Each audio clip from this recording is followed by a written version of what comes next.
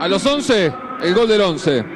Desborde por la izquierda de Viola, el centro Caballero que la baja, Fariña de derecha para batir a Bertoli. A los 23, el centro de la izquierda, gana las alturas Roda, pasividad en el fondo de Racing, de Olivera que mira y 1-1 parcial. En el segundo tiempo, 13 minutos.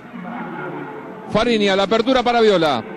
El centro que tenía a Caballero como destinatario, el rebote cae en el pie derecho nuevamente de Fariña, que después se fue acalambrado para poner en ventaja. Y a los 40 de primera, Lich, golazo. ¿Mejor gol de la Copa? Quizá. Sí, sabíamos que iba a ser un partido muy complicado, eh, por lo que se viene jugando también. Eh, han demostrado mucho equipo de, de otras categorías que están a la altura y que, y que pueden ganarla cualquiera. Creo que hicimos un, buen partido, tácticamente muy bueno, y donde se nos igualaron y pudimos convertir dos goles, goles más.